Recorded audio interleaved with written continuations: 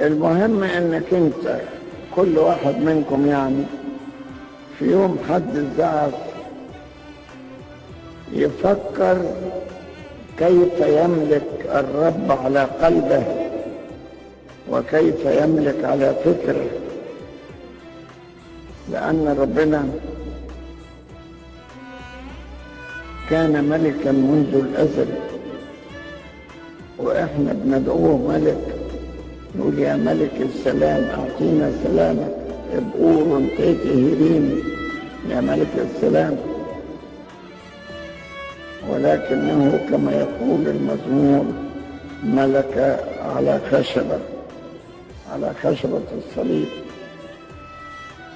فيا ريت اليوم ده ما يكونش مجرد يوم هيصة ومجرد زعف وتهتموا بالزعف أما أكثر ما تهتموا بالقداس وتهتموا بالزعف أكثر ما تهتموا بملكوت الله على قلوبكم. ده اللي المفروض يكون.